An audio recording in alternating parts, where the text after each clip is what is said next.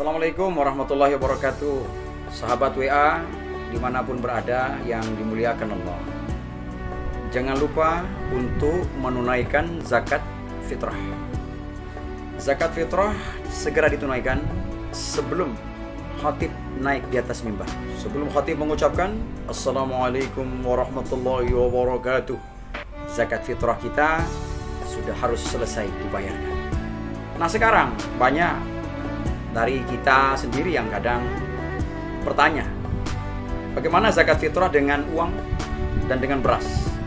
Ya tentu ada ulama-ulama yang membolehkan terkait dengan uang. Kemudian dengan uh, makanan pokok, beras dan lain sebagainya.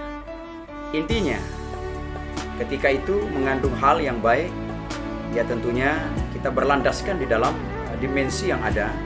Ketika saat ini mungkin mereka yang memakai uh, uang itu ada daripada pemahaman Imam Hanafi atau Imam Abu Hanifah.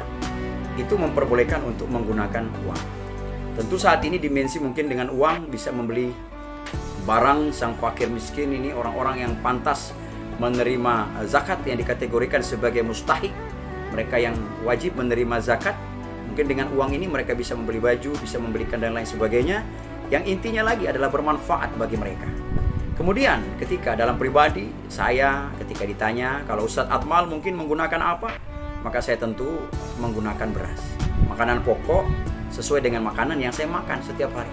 Selama hidup mungkin saya makan beras itu apa namanya? Kualitasnya harus sama. Nah, itulah yang saya beli dengan uang kemudian berasnya saya atur. Nah, ketika kita berzakat ini tentu ada lagi yang tanya, Pak Ustadz bagaimana kalau zakat itu kita eh, lebihkan? Kalau kita lebihkan dari standar yang sudah ada, maka tentu hitungannya adalah sedekah. Ingat, ketika zakat fitrah yang sudah ditakarkan sesuai dengan jumlahnya, dan ketika ada lebihnya, maka itu akan dihitung sebagai sedekah. Tidak masalah, boleh menjadikan pahala.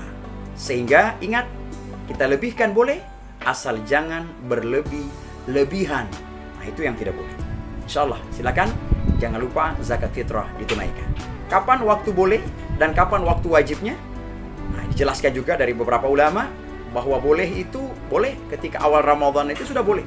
Tapi ketika waktu wajibnya, ketika malam mengumandangkan malam takbir itu, itu sudah wajib. Maksudnya apa? Pada malam itu tidak terlalu jauh hari, ketika pada saat itu dibayarkan, mereka masih dapat menikmati bahkan selesai hari raya, mereka itu menikmati dengan hari yang gembira, dengan stok persediaan makanan pokok masih ada dan lain-lain sebagainya. Dan kita wajib menyelesaikannya sebelum khotib naik di atas mimbar. Nah itu saja sekilas dari saya untuk uh, pemirsa di mana pun berada. Tunaikan zakat fitrahmu dalam beras ataupun uang. Insya Allah menjadi yang bermanfaat bagi semua orang yang menerima uh, zakat fitrah kita. Insya Allah. Assalamualaikum warahmatullahi wabarakatuh.